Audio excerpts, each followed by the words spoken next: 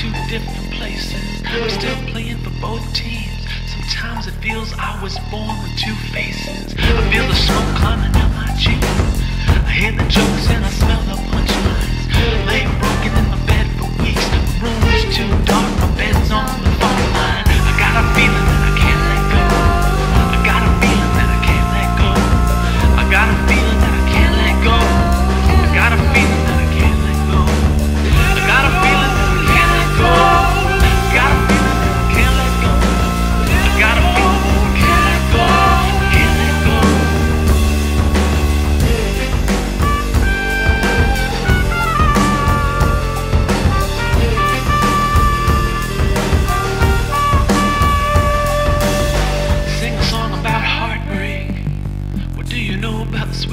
sadness. I got a name for each one of my headaches.